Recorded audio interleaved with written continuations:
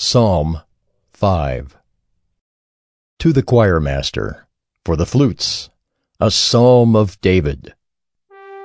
Give ear to my words, O Lord. Consider my groaning. Give attention to the sound of my cry, my King and my God. For to you do I pray. O Lord, in the morning you hear my voice. In the morning I prepare a sacrifice for you and watch. For you are not a God who delights in wickedness. Evil may not dwell with you. The boastful shall not stand before your eyes. You hate all evildoers. You destroy those who speak lies.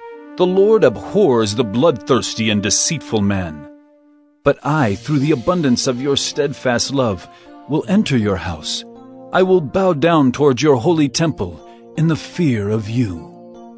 Lead me, O Lord, in your righteousness because of my enemies. Make your way straight before me.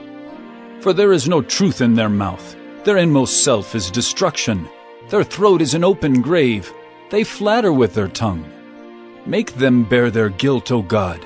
Let them fall by their own counsels. Because of the abundance of their transgressions, cast them out for they have rebelled against you. But let all who take refuge in you rejoice. Let them ever sing for joy, and spread your protection over them, that those who love your name may exult in you. For you bless the righteous, O Lord. You cover him with favor as with a shield.